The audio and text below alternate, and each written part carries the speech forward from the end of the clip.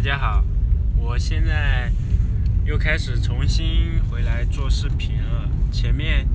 嗯，昨天找了一个加速器，可以上那个 YouTube 去面去找视频、找素材，呃，考虑做原创。现在那个号做原创是电影的原创，然后另外一个我想就做搬运吧，去搬运，搬运，但是好像他们说的没那个没发展前途，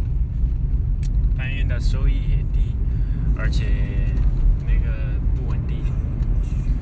没有固定的粉丝。但是做那个影视原创的话，因为做解说太麻烦了，就要看电影，然后还要写解说词。